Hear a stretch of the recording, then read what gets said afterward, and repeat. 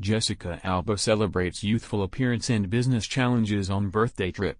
Jessica Alba, the celebrated actress and entrepreneur, recently marked her 43rd birthday with a vibrant trip to Mexico, documented through several Instagram posts that have captivated her fans.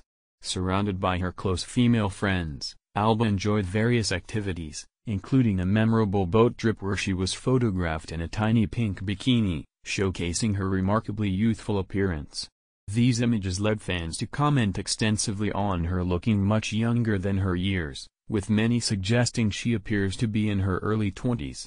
Throughout the vacation, Alba shared photos not only in her swimwear but also in stylish, summery outfits, dancing and laughing, which she described as the best birthday trip imaginable.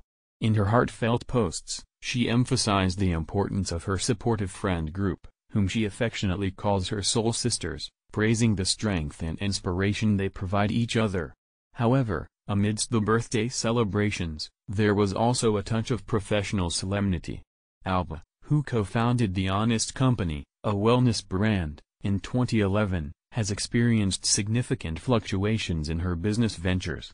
After a promising start that led to a public valuation of $1.7 billion in 2021, the company's worth has sharply declined to $228 million. This downturn in business fortune significantly impacted her net worth, which decreased from an estimated $340 million in WAMILI des to $100 million. Despite this setback, insiders close to Alba maintain that she remains financially secure, though there's a shared sentiment that her financial trajectory could have mirrored her early entrepreneurial success had circumstances been different.